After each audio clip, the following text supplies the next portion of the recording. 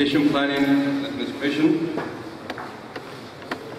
the representatives, His Excellency Governor of Kaduna State, my own home state, my own governor's representative from Bauchi State, and other states are here present,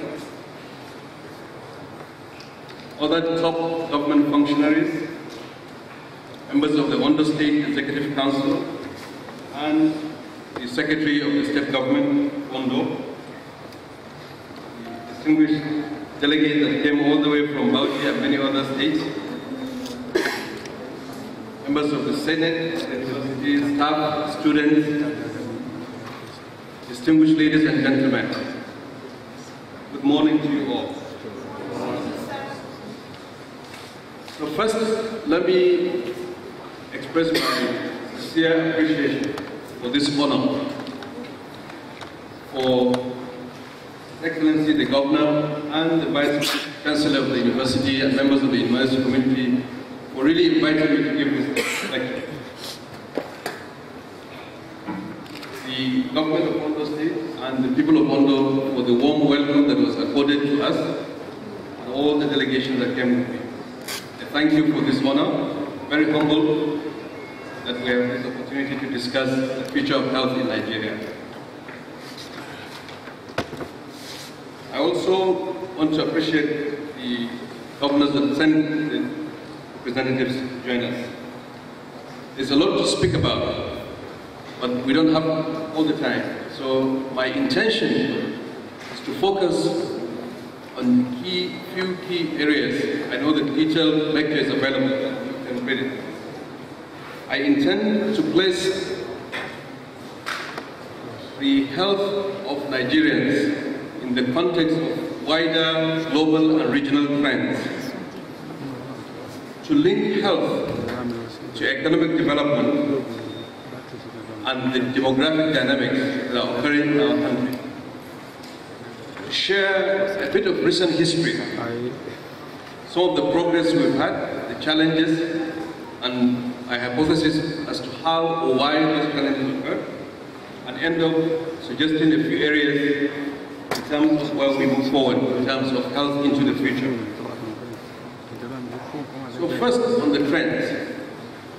There are several important trends that are occurring in our world today that we can easily miss noticing them, but they're happening. One important one is the demographic transition. Populations are changing. We're getting older. Young people are growing up. The world and Africa is, in particular is becoming more youthful. Lots of youth. That is different. That's important and is linked to what I'm going to speak about the future of health. Urbanization. We're getting more and more urbanized. People are living in cities with houses, with migration, and there are implications of that. There are political transitions. Until now, really along democratic dimensions. But there are also transitions in terms of how governance interfaces with the people, how the state and politics come together. There are transitions in terms of the climate. Climate is changing globally, it's also affecting us locally. Flooding, we know what is going on with that. There are technological changes that are happening quietly, but they are important also. From big machines, we're now moving towards miniaturization, small gadgets. Mobile technology is changing a lot of things, from politics how healthcare and education will be delivered. In the field of medicine, we used to talk about proteins, but from discussing genomics, we've moved on proteomics, even to metabolomics, look at metabolism and how that is happening and how that affects lives, health, disease, and death. But there are also economic transitions. With all these changes, economies are changing, including our country, Nigeria. The structure of the labor market is changing now. Now, what does all these transitions have to do with health? I think they are linked to health. They have implications on health. They have implications on the epidemiological transition that we are seeing. Today we have a lot of infectious disease burden. We have maternal and child health issues. But we are seeing non-communicable diseases come up because people are living longer, lifestyles are changing, and we are getting dislocated. There are implications for how health systems adapt to these changes that are happening around us that we may not easily really come to grips with until we take a step back and look at the full picture. We are on this planet as one set of organisms, but there are several others. Monkeypox is one issue that is very topical today. Well, monkeys are also part of the ecosystem, and they have implications on human health. So, I believe you'll agree with me that very, we have to pay attention to bigger trends that are happening around the world, but also locally, and how they relate to our health and our health systems. I'll move on to try to link health and economic development. Why is health important? It's not only because of ill health that health is important. Let's start from the population dynamics. We are a large country, we are growing very fast. And that's good. A youthful population can be a huge asset. In a few years from now, Nigeria will be 400 million people. We would be among the third or fourth largest countries in the world. That's a huge asset. Well, but that asset can only truly manifest itself if the youth are healthy and if they are employed and they are also economically productive in those employment engage. So, this concept that experts led to demography, called demographic dividends, really about how this youth population can be translated into economic development for countries. Let me explain.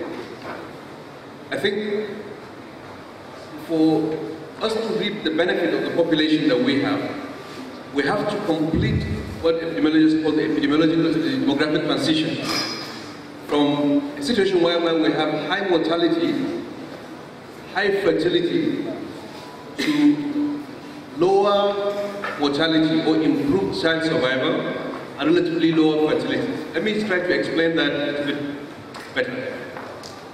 First, when you have high mortality of children, of women,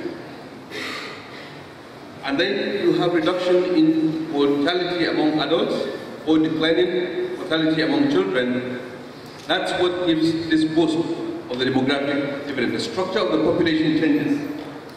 Initially, when mortality is reduced, parents will be more comfortable with lower desired fertility levels. Women would have the opportunity to engage in the labor force. When the workforce exceeds the dependence in the population, the non-working age population, you have the surplus, and that's the demographic dividend. So when you have high dependency, even a few working people might not be able to sustain the growth. The structure of the population has to be whereby you have very good, sizable labor force, but also a manageable, dependent population. And that gives you the boost because then households can invest in food, in education of their children, in healthcare, they will save, they will buy houses, and the economy will grow.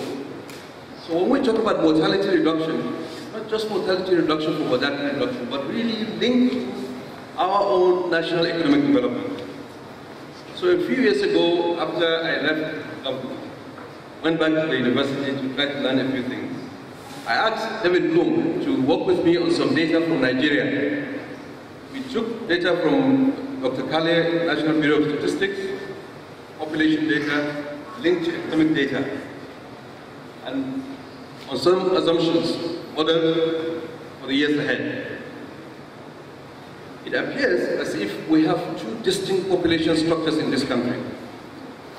The northeast, northwest, and north central, our population has been fairly stable, high dependency, high mortality, and also high fertility.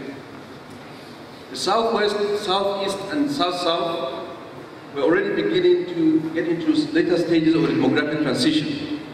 Mortality has gone down, fertility is also coming down.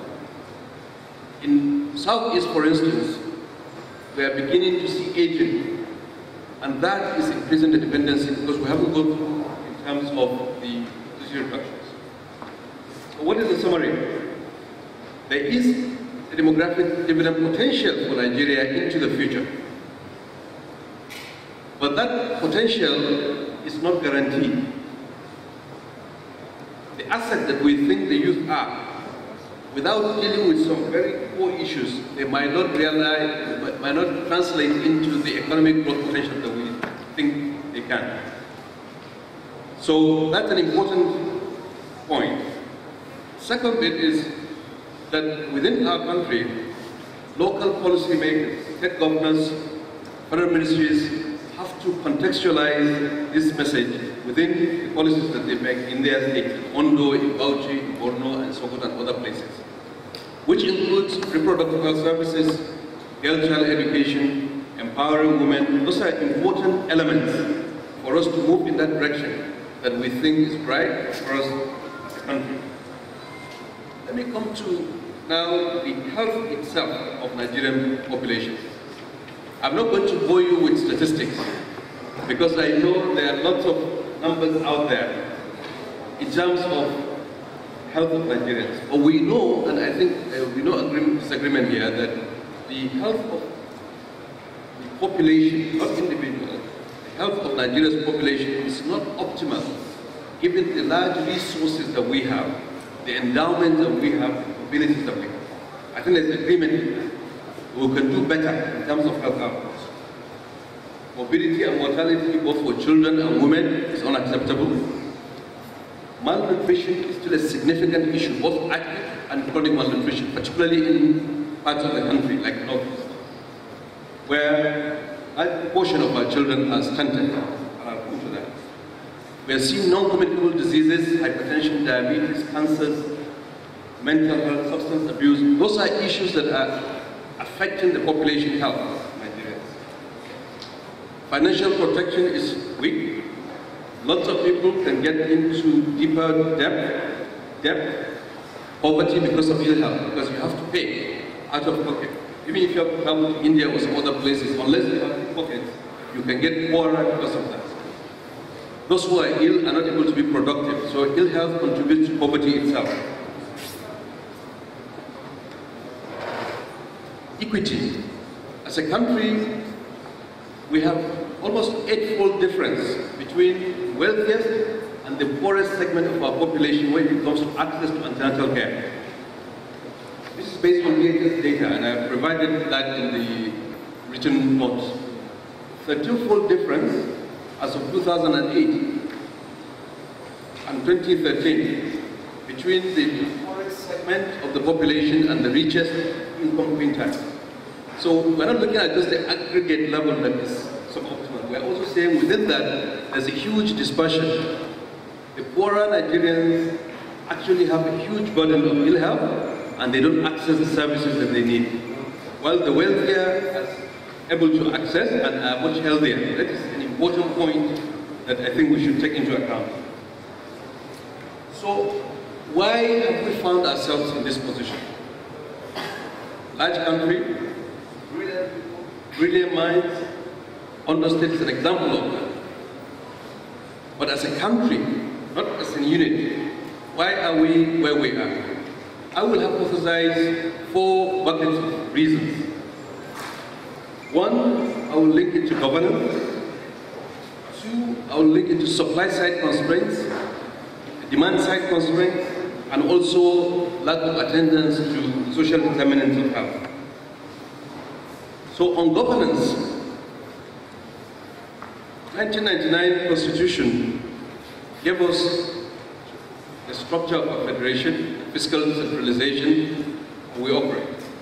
And that also gave us a problem because we have a fragmented health system because of the way our governance system is. Meaning that the national health system comprises several subsystems uh, interacting among themselves. So the federal government and its role really depends not on accountability mechanism directly, but on really influence, soft power, help the states and others to act on this issue. Now here, I would like to pay tribute to several giants that have working and have brought us to where we are. I think we had the name of Professor Olikoye Ransome. Kuti of like of Professor Umaru Shehu, Professor Adetokunbo Lucas, Professor Ita Lambo, the late Professor Babatunde Osotimehin, who we lost recently,